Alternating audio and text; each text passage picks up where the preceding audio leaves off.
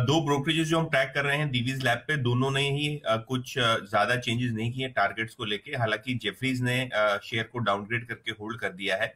Goldman का लक्ष्य है अट्ठावन रुपए।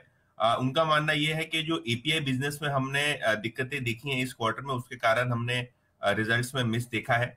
हालाँकि जिस हिसाब से कंपनी की इन्वेंट्री थी, वो कहीं ना कहीं कम हुई है हाई बेस से।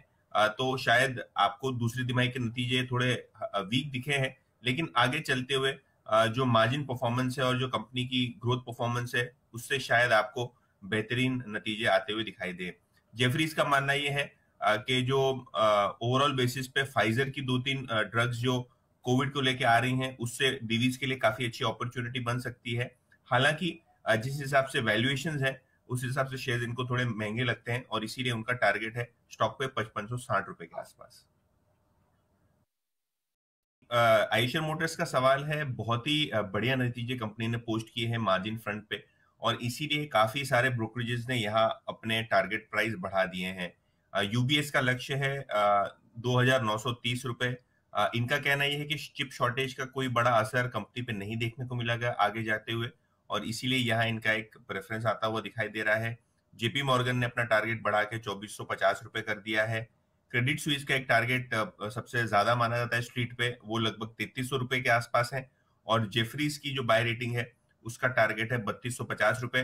जेफरीज का कहना यह है कि जो मल्टीपल टू व्हीलर रिकवरी के लीवर्स हैं और जिस हिसाब से प्रोडक्शन में इंप्रूवमेंट हमको दिख रहा है, खास करके ट्रक बिज़नेस में तो वो काफ़ी सराहनीय है आइशर मोटर्स के लिए। और इसीलिए यहाँ मोस्ट ब्रोकरेजेस ने अपना व्यू और रेटिंग मेंटेन रखा है।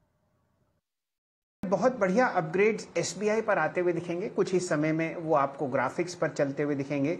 साढ़े पाँच सौ छः सौ छः सौ पच्चीस के लक्ष्य, कई जाने मानी ब्रोकरेजेस से आते हुए नतीजों के बाद। फ़िलहाल स्टॉक सुस्ता रहा है आधा प्रतिशत पीछे 530 पर।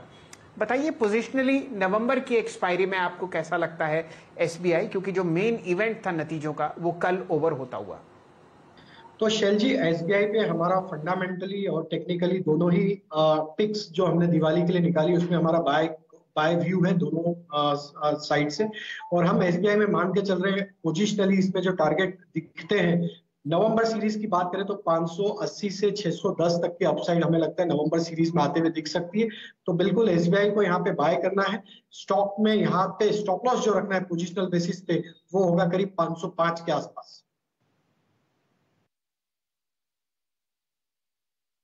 ये रणनीति आपके सामने फ़िलहाल आती हुई दिख रही है।